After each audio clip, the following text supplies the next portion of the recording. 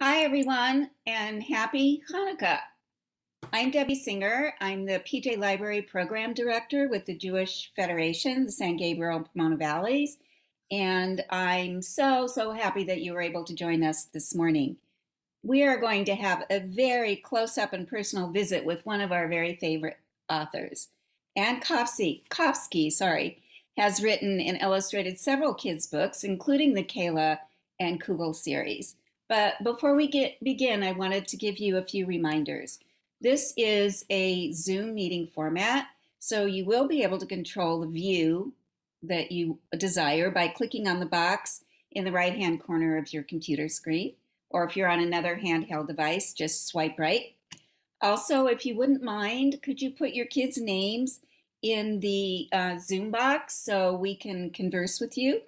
And after Ann reads her book, I hope that Parents and kids alike may have some questions for her. And if you do, just raise your hand, she'll call on you. Um, if you have a copy of the book, you may want to follow along and make sure you have, I see your book, yay, a couple of blank pieces of paper and something to draw with. So now I am so happy to introduce you to the creator and illustrator of Kayla and Kugel's Happy Hanukkah, Ann Koffsky. Hi, everybody. Thank you so much for that great introduction, Debbie. I so appreciate it. And thanks to Alvy and who else is there? Somebody holding a red dragon is here too, so that's very exciting. Nice to see you all. Um, I'm so glad you came. Uh, and I'm going to talk to you about um, and Kugel and making books. So before I begin, I need to know if you guys are book people. So if you like to read books in your house, can you put your hand one hand on your head? Do you guys like to read books in your house? Ah, and if you like to read books in your school, put your other hand on your head. Okay, so it looks like you guys can put your hands down now. You guys, eh, you're book people. I love talking to book people because I make books. Now, since you know so much about books because you're book people, you probably know that there's two kinds of people in charge of making a book. There's a person in charge of making the words. That's the Do you guys know what that is? That's that's the author, right? I knew you knew. And then the person who's in charge of the pictures is called the illustrator. But I am both. I'm the author and the illustrator.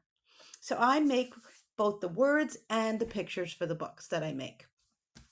Now, the first thing that you have to do when you're making a book is you have to come up with an idea. That's the hardest part.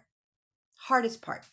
But you know, I'll tell you how I came up with my idea for Kayla and Kugel. Did you notice? I noticed that there were a lot of books about dogs. For example, since you're book people, have you guys ever met Spot? If you know Spot, touch your nose. You guys don't know Spot? Oh, I see one person knows Spot. But maybe you know this book about a dog. Do you know this one? Okay, if you know this, okay, I see that Alvy knows. Excellent. And the Shapoff family knows too. So, um, there were so many books out there about dogs. So many. And and there's Biscuit and there's Blue from Blue's Clues and there's Scooby Doo but I had never seen a book about a Jewish dog. And I decided that's my idea. I'm going to make books about a Jewish dog. Um, and I did. First, I made Kayla and Kugel about Shabbat. And then I made Kayla and Kugel about Passover. And then I made the one that you guys seem to have, which is Kayla and Kugel about Hanukkah. Now, the name of the dog was the other idea I had to have because I needed to come up with the dog's name. And I have a lot of dog neighbors. Do you guys have any neighbors who are dogs? Yeah? Do you? Yeah? I have a lot of neighbors who are dogs, and I'm going to tell you their names. Their names are Cookie and Brownie and Cupcake. And there's even one named Hummus. And there's another one named Pepper. And I noticed something very similar about those names. They were all foods. So I decided if I was going to make a Jewish dog, and make a story about a Jewish dog, he should have a name that's a Jewish food. So I thought maybe his name could be Challah, but then it would just be a Shabbat dog. And then I thought his name could be Latka, but then he would just be a Hanukkah dog. So I came up with an all year round Jewish food, which is kugel. And that's how kugel got his name. Okay, so once I knew the book is about a Jewish dog, and then once I knew that the dog's name was Kugel, I came up with the girl's name. Her name was going to be Kayla because it kind of sounded like Kugel and they sound good together. And then I had to figure out what should they look like. And that was tricky because I can't if I wanted to know what Alvy looks like, I come to Alvy's house and I say, "Hi Alvy." And I look at him and I see he has blue sleeves and brown hair and beautiful brown eyes and I know how to draw him. But Kayla's imaginary, and I'm the one that has to imagine her. So I don't know what she looks like. So what I did was I decided to get some ideas from other characters. And I went and looked at some other characters. So I'm going to share my screen. Can you guys see this? Can you do you guys know Elephant and Piggy? Yeah. So I was looking at Elephant and Piggy and I decided I'm going to look at how elephant's eyes are. If you look at elephant's eyes and piggy's eyes, there's they're not like real eyes. They're just dots. So I said, "Oh, when I draw Kayla, I'm going to make her dots eyes like elephant and piggy." And then I looked at Dora. Do you guys know Dora? Well, did you ever notice that Dora has a giant head? Huge, huge head. Her head is almost as big as her whole body. Huge head, kind of like a football. So I said, aha, when I draw Kayla, I'm going to give her a giant head like Dora. And then I looked at Abby Cadabby. And what I love about Abby Cadabby is her really cool pigtails or ponytails. Not sure what to call them, but they're messy and they're big and they're fun and they go all over the place. So I said, aha, I'm going to do that when I do Kayla also. Now, do you guys, are you ready to draw along with me? Do you have a pen, pencil and some paper? Oh, Alvy's ready. And I see that the, uh, the Shopov home is waiting. I don't know if the other people, their screens aren't on. Um, mm, you can just watch if you don't have paper or you'll be able to catch up. We're going to do the dog too. So we're going to start, we're going to start with Kayla and then we're going to do the dog. Okay. So the first thing we're going to do, oh, she's waiting. Oh, here he comes. Yay, to the rescue. All right, we're ready to go. So first, do you remember Dora's head? Huge, giant oval, kind of like a football. You see how I did that? Okay. All right, step two. Just like Elephant and Piggy, we're going to do dots for eyes. Very, very simple features like elephant and piggy. Then just a little tiny curve for a nose.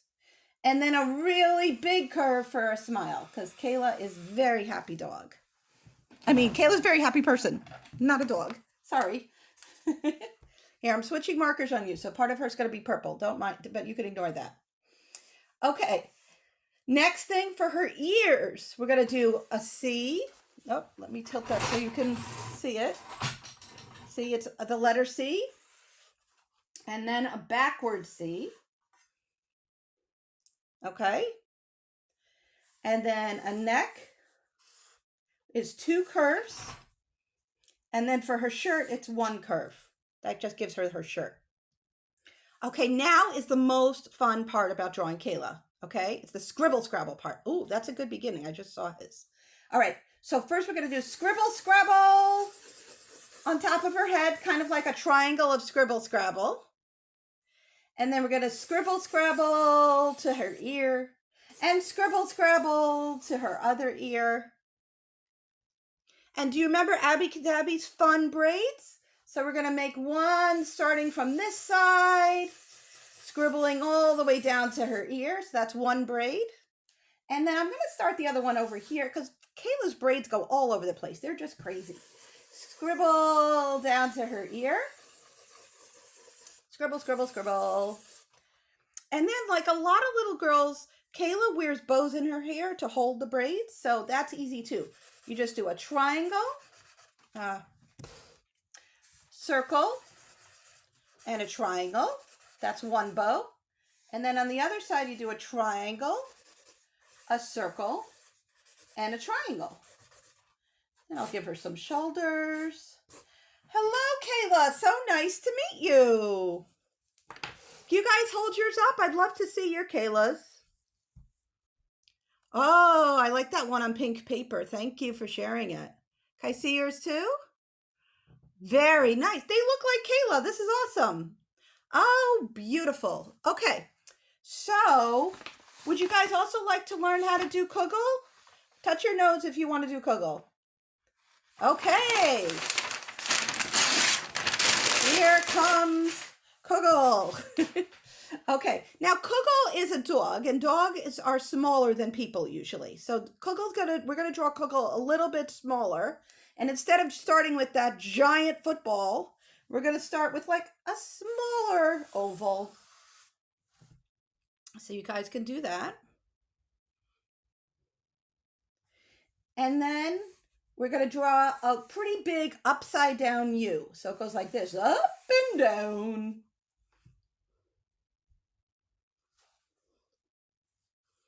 Okay, next, just like Kayla had dots for eyes, Kugel also has dots for eyes.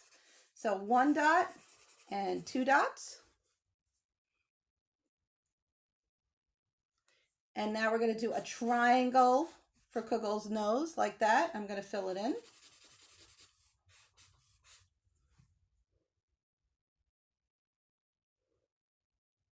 Okay, watch the next step. It's going to be two J's. One J forwards and one J backwards.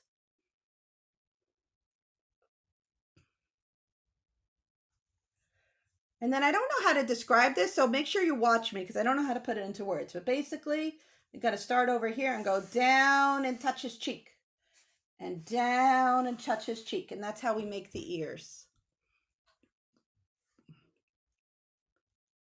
Okay.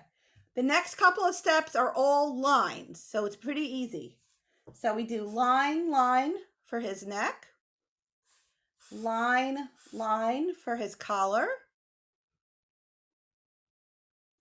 And we're going to close the collar with two more lines.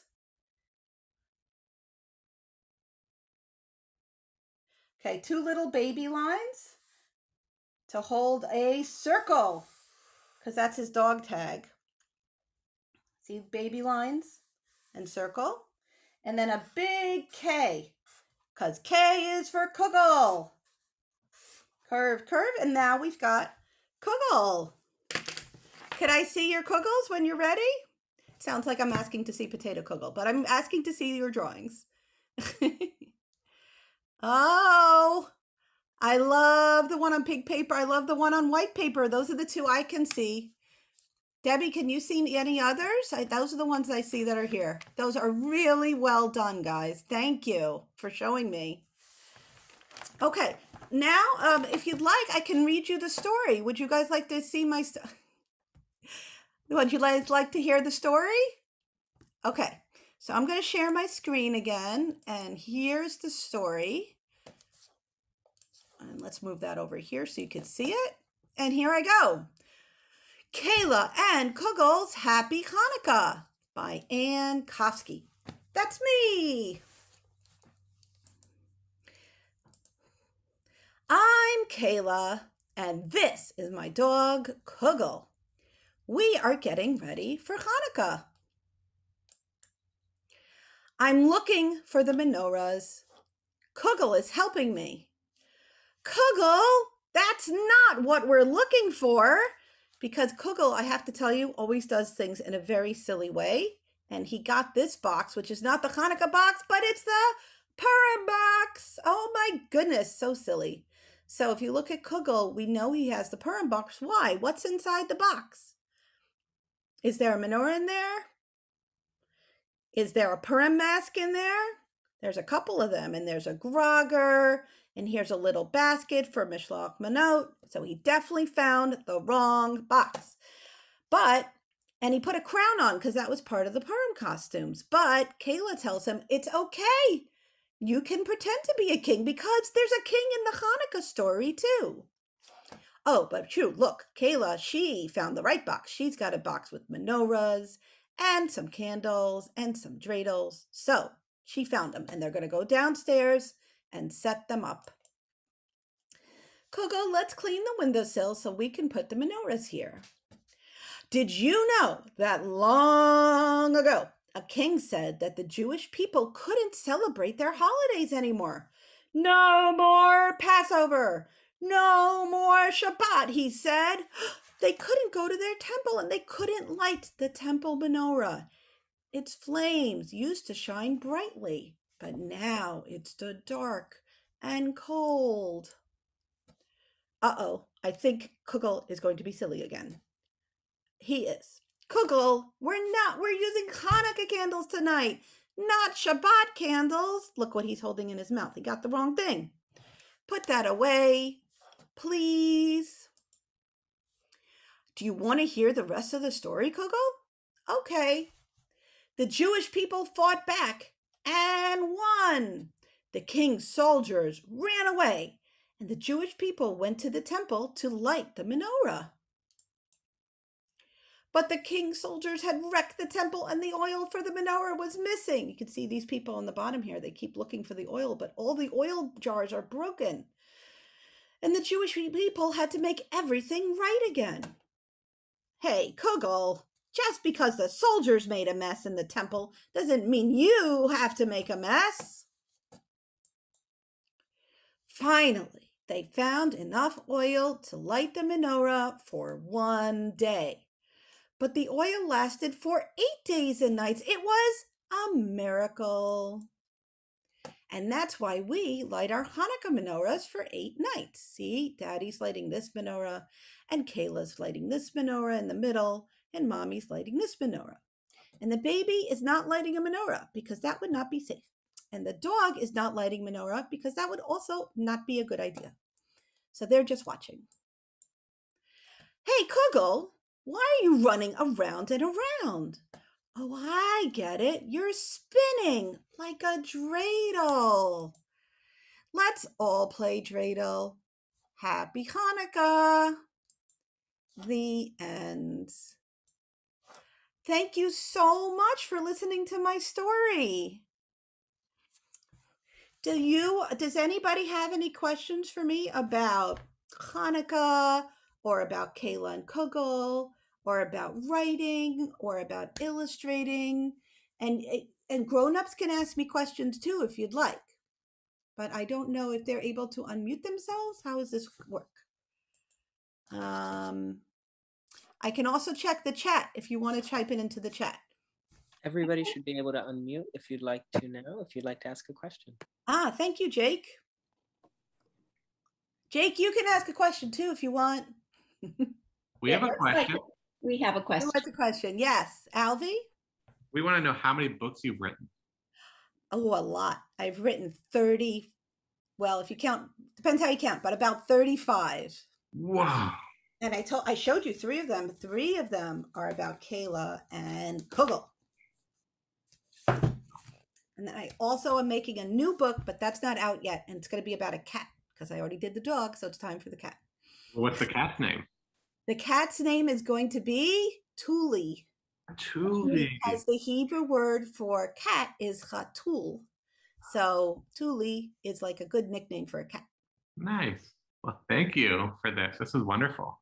Thank you so much. Thanks for coming. And you have another question. Yes, I don't know her name. I know that her father's name is probably Ron. I don't know her Yeah. name. Natalia.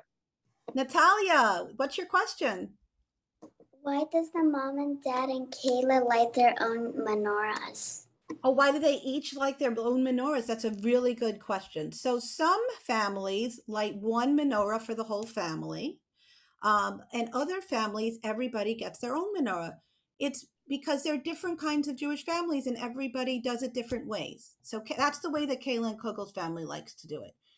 How do you light it in your house, Natalia? Do you have one or do you have lots? I have one.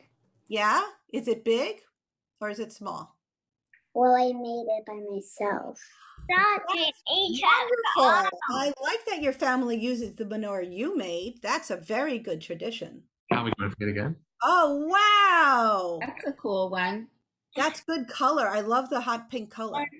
Did you pick that color? Yeah. Sure. Okay, it's okay. Can you talk to me? Okay. Albie was saying we each light our own. So just like in the book, we each have our own menorah. Oh, and w- and Alvi, what kind of menorah do you have? Is yours pink like Natalia's, or is it a different color? It's a train menorah. A train menorah. Oh, that's fun. Yeah. That's cool. And what does your dad's menorah look like? Kind of a modern art one.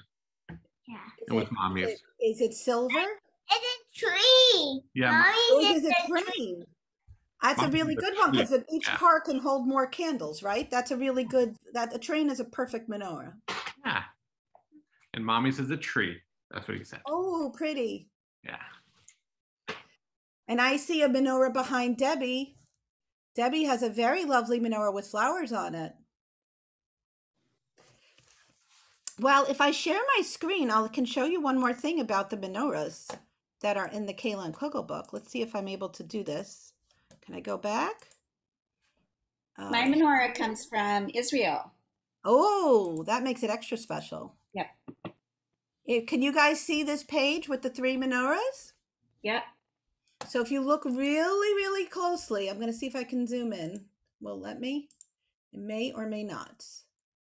I won't let me zoom in anymore. So you got to squint. All right, go like this.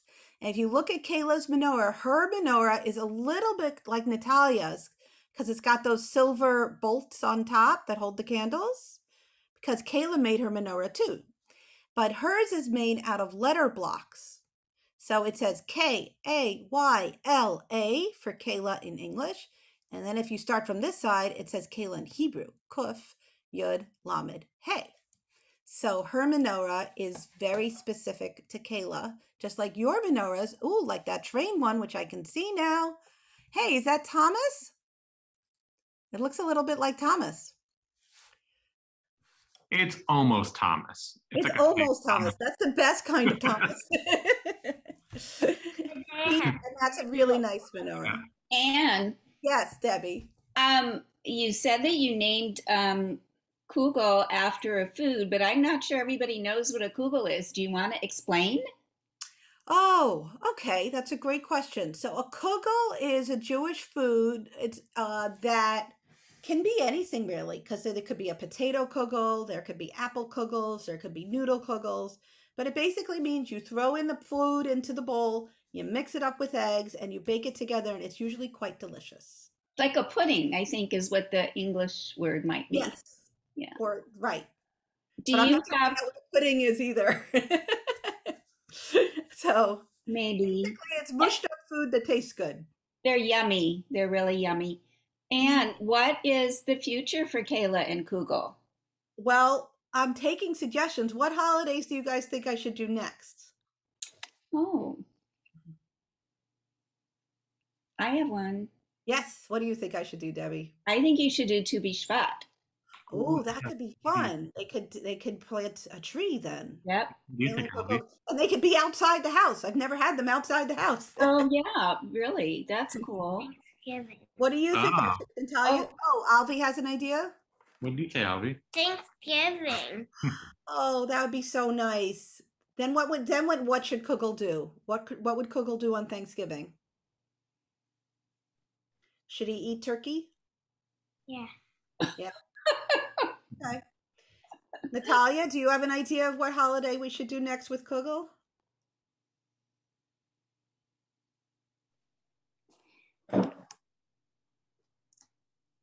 No. That's okay. I had an idea that maybe they should celebrate Sukkot next. Mhm. So we're gonna wait and see. That would be a good one. Yeah, that'd be fun too. Again, it would be outside. Right. and out of their living room. And lots of building. That would be cool. Hmm Okay. Very Do you nice. guys have any other questions about being an author, illustrator, or anything about Hanukkah? Do you do adult books also? Um, no, I, I I've written articles for adults that have been in magazines, but I have never done a book for adults. And and where do you live? I live in West Hempstead, Long Island. Is it snowing yet? No, but it's cold and the leaves have all changed colors. Cool. It's very pretty, actually. Very nice. I I think Alvy's saying something, but I can't hear him. Oh, he said she lives on an island, I do. It's a long island. a really long island. it's part of New York. Yeah. It's near where Auntie Mia lives. That's funny. I never thought about that. We lived on Long Island for about a year in yeah, where'd you Center. live? Oh, very close. Center. Yeah, very Yeah, close. th- Yeah, 10 minutes. yeah. We used to Okay, so we're, we're landsmen, as they say. yeah, yeah, yeah. Well, thank you so much, Ann. yeah, thank you. And it's, a, you know, have a really wonderful Thank you. Everybody. You got one day left. One That's more time right. to light the train and the pink menorahs. So happy Hanukkah to everybody. Happy Hanukkah. Thank yeah, you. okay. Thank So, you. Toda rabah. Thank you, Ann. Chag Sameach. Hope you guys come back for another program. We'll be happy to have you. It was lovely to meet everybody. Happy Hanukkah.